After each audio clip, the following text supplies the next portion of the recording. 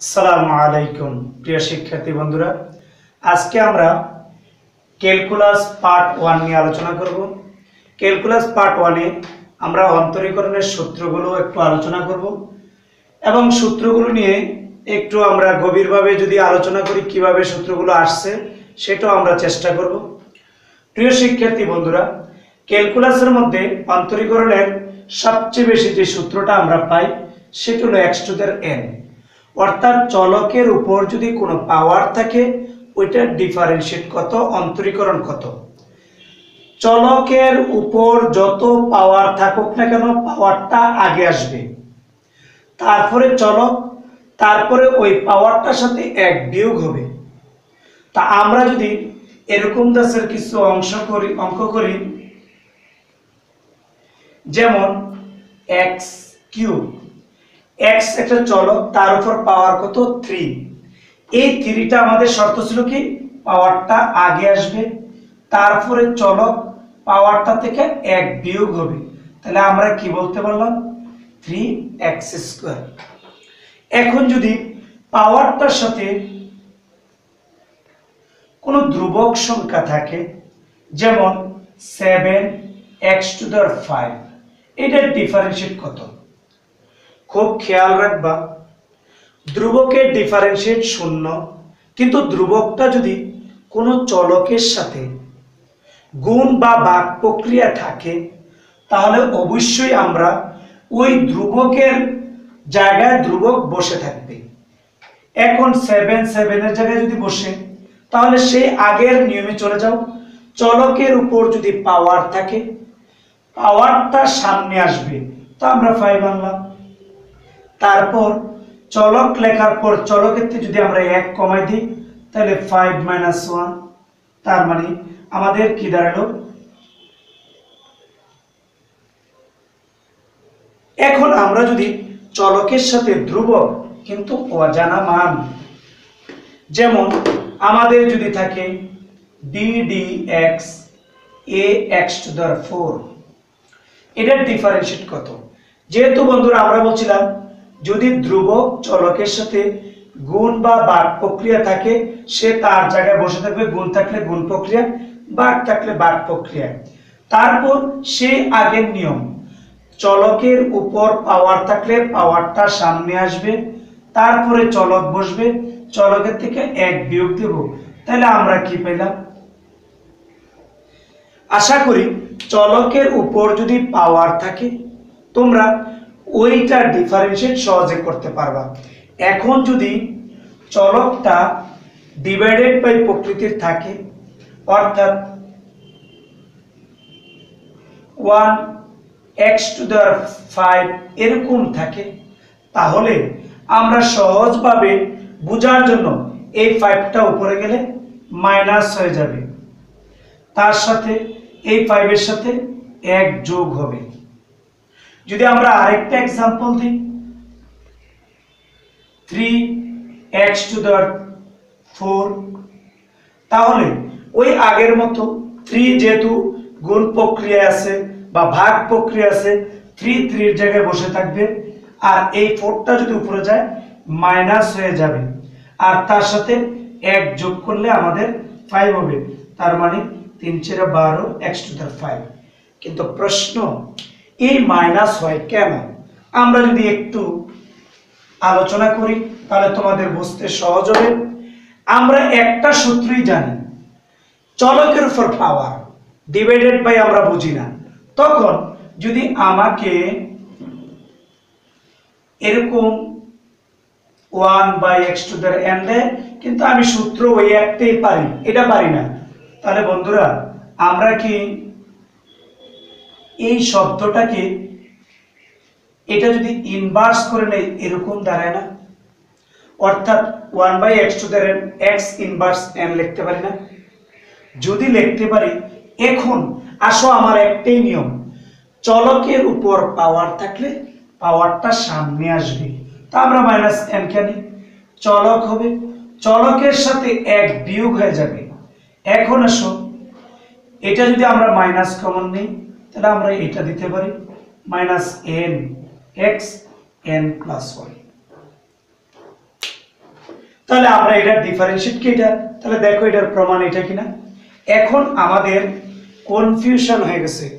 চলকের উপর পাওয়ার অদ্ভুতভাবে যদি আমরা বলি ক্যালকুলাস অর্থাৎ অন্তরীকরণে মোট চলক উল্লেখ থাকুক আর না থাকুক, চলক কিন্তু নয়টি। যেমন এই নয়টি চলক কি? S T U V W X X Y Z theta এই নয়টি জিনিসের ডিফারেন্সিয়েট যদি উল্লেখ নাও থাকে, তাদের ডিফারেন্সিয়েট করব। যেমন, আমি বললাম এক্সের সাপেক্ষে এস এর ডিফারেন্সিয়েট কত? তাহলে তোমরা এই এসটা যদি এইদিকে আনি, তাহলে D S by D X হয়। এক্সের সাপেক্ষে আমি এখানে এস না দিয়ে যদি ইউ দেই, তাহলে তার ডিফারেন্সিয়েট কত?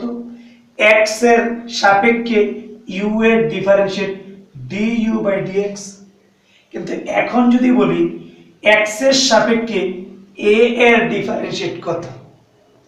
দেখো এই এটা কি এই নয়টা জিনিসের ভিতরে আছে? নাই, অতএব তার ডিফারেন্সিয়েট জিরো প্রিয় শিক্ষার্থী বন্ধুরা, এই ধ্রুবকের মানটা জিরো কেন? আমরা যদি একটু দেখি, তাহলে বিডিএক্স যেমন সেভেন এটার ডিফারেন্সিয়েট জিরো কেন? আমরা বিডিএক্স এর সাথে মনে মনে একটা ওয়ান বলতে পারি। যদি আমরা ওয়ান বলি, তাহলে সেভেন এইট এক্স টু দেওয়ার জিরো তার মান কত? ওয়ান তাহলে এক্স টু দেওয়ার এন লিখতে পারি। এখন আমরা কিন্তু একটা সূত্র শুধু শিখেছিলাম, চলকের উপর পাওয়ার যেহেতু চলক এখানে নয়টার ভিতরে এটা আছে, তাহলে চলকের উপর যদি পাওয়ার থাকে, তাহলে তার কাজটা কি ছিল? পাওয়ারটা সামনে এসে যাবে। এবং চলকের পাওয়ারটা থেকে এক বিয়োগ হবে এই সূত্রটা না? তাহলে শূন্য দ্বারা কোনো সংখ্যাকে যদি গুণ করে, তার মান কত? শূন্য। আমরা এই ধ্রুবকের মানটা অন্তরীকরণের মূল নিয়ম থেকেও আমরা দেখাইতে পারব। তাহলে চলো আমরা দেখি সাইন এক্সের ডিফারেন্সিয়েট কজ এক্স কেন? আমরা যদি এর মূল নিয়মটা একটু জানতে চাই যেমন আমরা বললাম, ধরি এফ অফ এক্স সমান সাইন সাইন এক্স সুতরাং F of X plus S sine X plus S সুতরাং মূল নিয়মের সংজ্ঞা হতে পাই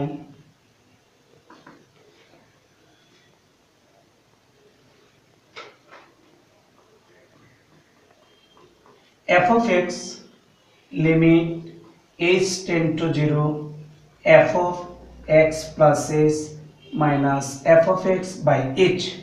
প্রিয় শিক্ষার্থী বন্ধুরা, আমরা এই ডিফারেন্সিয়েটের যত সূত্র আছে, আমরা যদি মূল নিয়মের সাহায্যে তার প্রমাণটা দেখাই, তাহলে আমাদের এতটুকু লিখতে পারব। এখন যদি এক্স টু দের এন এর কথা বলতো, তাহলে অবশ্যই আমরা এফ অফ এক্স সমান এক্স টু দের এন লিখতাম। এখানে যদি শুধু খালি আমরা এক্স প্লাস এইচ এক্সের সাথে একটা এইচ সংযোজন করতাম। তারপর আমরা এই সূত্রটা দেওয়ার পর যদি আমি এখানে ডিডি এর এফ এক্স কার মান বের করতেছি? সাইন তোমরা যদি নিজেরা একটু প্র্যাকটিস করো, এই সাইনের জায়গায় কস দিতে পারো টেন দিতে পারো সেক দিতে পারো কোসেক দিতে পারো one by X to the N by X to the N দিতে পারো, তখন ওই জায়গাতেও আমাদের কি আসতেছে? F F of X plus H এর জায়গায় ছিল কি? Sine X plus H minus sine X by H limit H tends to zero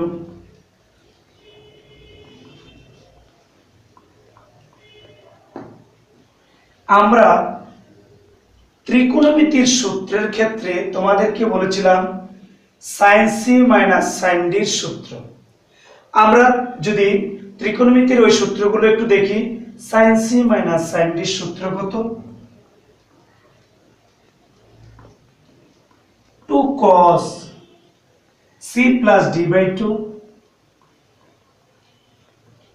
sine C minus D by two এখন আসো limit H tend to zero two by H cos x x যোগ করলে 2x 2 এই লসাগুটা যেহেতু x এর সাথে আছে, তাহলে আমরা x বলতে পারি। আর h বাই 2 কারণ x x এর 2x 2x এর 2 দ্বারা কাটলে শুধু x থাকে প্লাস h এর সাথে 2 h বাই 2 এরপরে আসে sin x x এ কাটা h বাই 2 এখন আসো limit h tend to 0 cos x plus h by 2 sin limit h tend to 0 sin h by 2 এখন দেখো বন্ধুরা, এখানে কি আছে? 2 by h, এইটা যদি আমরা উল্টাই দিই, তাহলে h by 2 হবে। কেন আমরা এটা করলাম? কারণ আমরা জানি limit x tend to 0 sin x by x তার মান 1 যেহেতু এখানে sin h by 2 আছে, যদি তার মাঝে h by 2 নিয়ে আসতে পারি, তাহলে তার মান কত আসবে? 1 তাহলে এখন আসো। cos, আমরা যদি লিমিটের মানে বসাই দিই, cos x plus 0 এটার মান কত বলছিলাম? 1 তাহলে বন্ধুরা দেখো, আমরা কি পেলাম? cos x তার মানে sin x এর ডিফারেন্সিয়েট কি? cos x.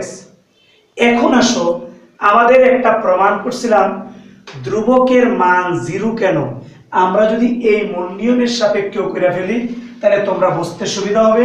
সেটা হলো, যদি আমরা এখানে ধ্রুবক হিসাবে সি কে ধরি, তাহলে x প্লাস এইচ সমান কত দেব?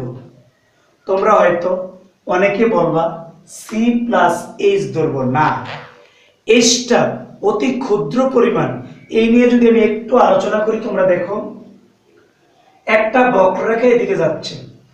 এই যে এই একটা বিন্দুতে তার অবস্থান ছিল এক্স আর ওয়াই। এখানে অতি ক্ষুদ্র পরিমাণ বাড়ার কারণে এটার অবস্থান হলো এক্স প্লাস ডেল এক্স, এটা হলো ওয়াই প্লাস ডেল ওয়াই। প্রিয় শিক্ষার্থী বন্ধুরা, এই ডেল এক্সটাকে এইচ বোঝা হয়েছে। অতি ক্ষুদ্র বাড়ছে।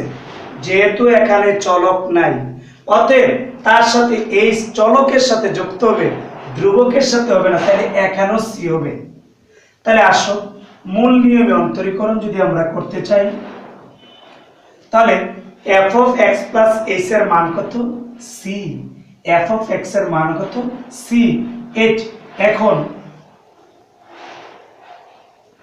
তোমরা দেখো সি এতে সি গেলে জিরো। আর জিরো দ্বারা কোনো সংখ্যারে ভাগ করলে জিরো। আমি প্রথমে তোমাদেরকে শর্টকাট দেখেছিলাম। মূল নিয়মে যদি করো, ধ্রুবকের মান জিরো। ধন্যবাদ।